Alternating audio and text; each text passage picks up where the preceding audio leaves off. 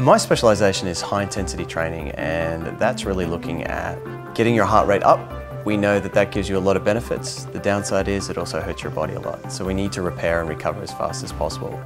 But when they get towards the end, it just goes up and they Okay. don't plateau. I did my work at NASA Johnson Space Center before coming here and that was a focus on using nutrition and exercise to maintain muscle mass. And there are so many similarities between astronauts and aging. We have these young, healthy astronauts, but they lose so much muscle and bone. They can lose as much bone and muscle in a month as people over the age of 70 do in a year. What you're seeing here is a couple of our undergraduate students doing some research on how older people can adapt to aerobic training so we can get them stronger without having to lift weights. For our students, it's an opportunity to do research that has applications for aging, for spaceflight, for anyone with chronic diseases and some sort of injury, those sorts of rehabilitation things that we see a lot. They get to apply a lot of what they've learnt in class and see how it can really affect not just research, but what do we do with that research? How do we apply it in the real world? And I think that's something that not a lot of students get.